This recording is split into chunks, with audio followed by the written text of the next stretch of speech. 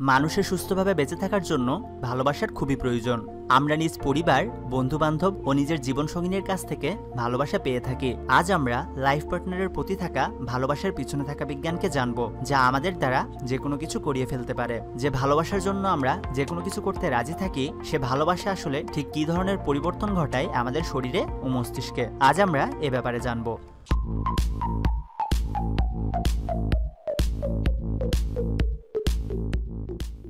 মানুষ যখন কাউকে ভালোবাসে, তখন তার মস্তিষ্কের এক বিশেষ ভাগ সক্রিয় হয়ে যায়, যা মানুষকে নেশা করার পর হওয়া অনুভূতির ন্যায় অনুভব করায়। নেশার প্রতি থাকা আসক্তি যেমন মানুষকে দিয়ে যে কোনো কিছু করিয়ে নেয়, তেমনি ভালোবাসার জন্য মানুষ যে কোনো কিছু করতে রাজি থাকে। মিসিগানের ফেরিস স্টেট ইউনিভার্সিটির বিজ্ঞানী রবার্ট ফেয়ার্ড বলেছিলেন, এসবের পিছনে মানুষের মস্তিষ্কে থাকা ফেনিয়াল ইথাইল এনিমা নামের একটি নিউরোকেমিক্যালের হাত থাকে। এই কেমিক্যাল মানুষ থেকে তার পার্টনারের দোষগুলো এড়িয়ে রাখে, তাই পার্টনারের করা দোষ মানুষের কাছে নগণ্য মনে হয়। এই কেমিক্যালের জন্য নিজের পার্টনারকে মানুষ সব থেকে ভালো ও উঁচু স্থানে অধিষ্ঠিত করে। ঠিক এ কারণেই মনে হয় আমরা যাকে ভালোবাসি, সে অন্যদের থেকে আলাদা। এই কেমিক্যাল সব মানুষের মস্তিষ্কেই বর্তমান থাকে। কিন্তু প্রেমে পড়া মানুষদের মধ্যে এটি বেশি পরিমাণে রিলিজ হওয়া শুরু করে। কিন্তু এই নিউরোকেমিক্যালের লেভেল খুব বেশি দিন পর্যন্ত এই উচ্চ লেভেলে থাকে না। দুই তিন বছর পর লেভেল কমতে শুরু করে এবং চার পাঁচ বছর পর এর প্রভাব প্রায় শেষ হয়ে যায়।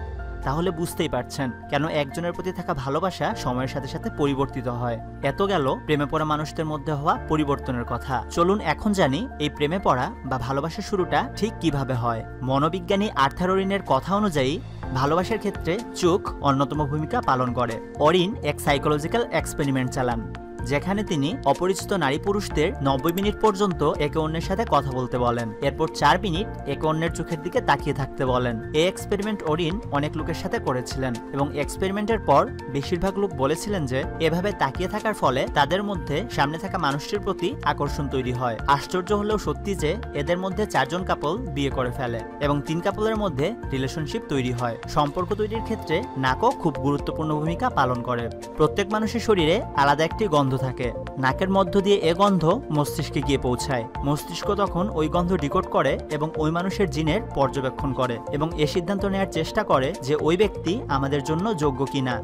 ডক্টর ওরিন বলেন এই আকর্ষণের প্রক্রিয়া আশি সেকেন্ড থেকে চার মিনিটের মধ্যে শুরু হয়ে যায়। আকর্ষণের এই প্রক্রিয়ায় পঞ্চান্ন ভূমিকা থাকে আমাদের বডি ল্যাঙ্গুয়েজ ও পার্সোনালিটির। আটত্রিশ কথা বলার ভঙ্গি এবং সাত পার্সেন্ট এর উপর ভিত্তি করে আপনি কথাবার্তায় কতটুকু কুশলী। আসলে প্রেম বা ভালোবাসা হচ্ছে মস্তিষ্কের এমন এক পরিবর্তনের ফলাফল যা নারী পুরুষকে কাছাকাছি থাকা, একত্রে পরিবার তৈরি ও এর নিরাপত্তা ও রক্ষণাবেক্ষণে সাহায্য করে। কিন্তু মস্তিষ্কের এই পরিবর্তনকে অনেকে খুব সিরিয়াসলি নিয়ে সঙ্গিনীর অনুপস্থিতির কষ্টে আত্মহননের চিন্তা পর্যন্ত মাথায় নিয়ে আসে। বাস্তবতা তো এটাই যে, সময়ের পরিবর্তন আমাদের সবকিছু ভুলিয়ে দেয় এবং ভবিষ্যতের সফলতা আমাদের সেসব কিছুই নিশ্চিত করতে পারে যা আমাদের মস্তিষ্কের প্রয়োজন। তাই সময়ের সাথে পরিবর্তিত এই নিউরোকেমিক্যালের ফাঁদে সময় নষ্ট না করে আমাদের সফল ভবিষ্যতের জন্য পরিশ্রম করা উচিত। ভিডিওটি ভালো লাগলে লাইক করে বন্ধুদের সাথে শেয়ার করুন। হয়তোবা আপনার শেয়ারের ফলে সবার অগোচরে ডিপ্রেশনে থাকা বন্ধুটি তার ডিপ্রেশনের আসল কারণটা বুঝতে পারবে। পরবর্তী ভিডিওতে দেখা হচ্ছে। C you next time